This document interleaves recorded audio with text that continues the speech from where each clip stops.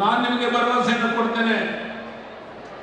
ನಿಮ್ಮ ನಂಬಿಕೆ ವಿಶ್ವಾಸಕ್ಕೆ ದ್ರೋಹ ಮಾಡುವಂತ ಕೆಲಸ ನಾರಾಯಣಗೌಡರು ಮಾಡಿಲ್ಲ, ಮುಂದೆನೂ ಮಾಡೋದಿಲ್ಲ.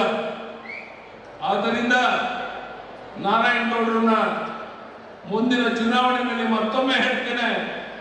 ಒಂದು ಲಕ್ಷಕ್ಕೂ ಹೆಚ್ಚಿನ ಹಂತದಲ್ಲಿ ಗೆಲ್ಲಿಸಿದಾಗ ಮಾತ್ರ ಅವರು ಸಾವಿರದ ಏಳ್ನೂರು ಕೋಟಿ ರೂಪಾಯಿನ ತಂದದಕ್ಕೆ ಇಲ್ಲಿ ಅಭಿವೃದ್ಧಿ ಮಾಡೋದಕ್ಕೆ ಸಾರ್ಥಕ ಆಗುತ್ತೆ ಅಂತ ನಾನಾದ್ರೂ ಭಾವಿಸಿದ್ದೇನೆ.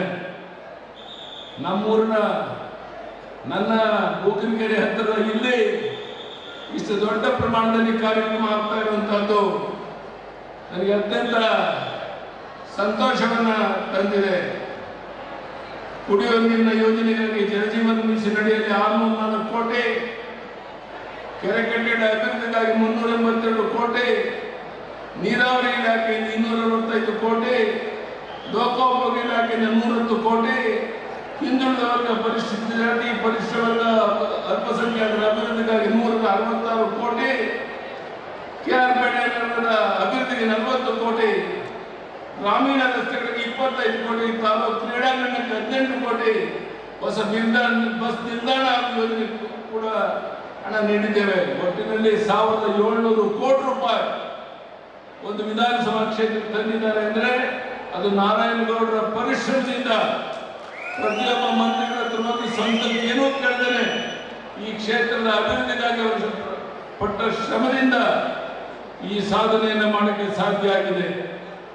ಆದ್ದರಿಂದ ಬಂಧುಗಳೇ, ಮುಖ್ಯಮಂತ್ರಿಗಳು ಉಳಿದಂತ ಮುಖಂಡರು ನಾನು ಹೆಚ್ಚು ಮಾತನಾಡೋದಿಲ್ಲ ನನಗೆ ಆನಂದ, ಸಂತೋಷ ಅಂತ ಹೇಳಿದ್ರೆ ನನ್ನ ತವರು ತಾಲೂಕಿನಲ್ಲಿ ಈ ರೀತಿ ಮೂವತ್ತೈದು, ನಲವತ್ತು ಸಾವಿರ ಜನ ಸೇರಿ ಈ ಕಾರ್ಯಕ್ರಮವನ್ನು ಮಾಡ್ತಾ ಇದ್ದೀರಿ ಅಂತ ಹೇಳಿದ್ರೆ, ನೀವು ಬಿಜೆಪಿ ಬಗ್ಗೆ, ಪ್ರಧಾನಿ ನರೇಂದ್ರ ಮೋದಿ ಅವರ ಬಗ್ಗೆ ನಾರಾಯಣಗೌಡರ ಬಗ್ಗೆ ಇಟ್ಟುವಂತಹ ಪ್ರೀತಿ, ವಿಶ್ವಾಸಕ್ಕೆ ಇದೊಂದು ಉದಾಹರಣೆ ಅಂತ ನಾನಾದ್ರೂ ಭಾವಿಸಿದ್ದೇನೆ.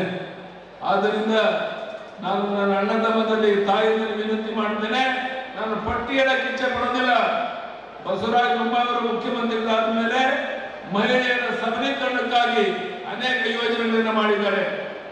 ನಾನು ಮುಖ್ಯಮಂತ್ರಿ ಆಗಿದ್ದಾಗ ಜಾರಿಗೆ ತಂದಿದ್ದೆ ಭಾಗ್ಯಲಕ್ಷ್ಮಿ ಯೋಜನೆ. ಅದು ಇವತ್ತು ನಿಮಗೆ ಆ ಒಂದು ಒಂದು ಲಕ್ಷ ಹಣ ಬರುವಂತ ಮೆಚುರಿಟಿ ಆಗಿದೆ. ನಾನು ನಿಮಗೆ ಭರವಸೆಯನ್ನು ಕೊಡ್ತೇನೆ.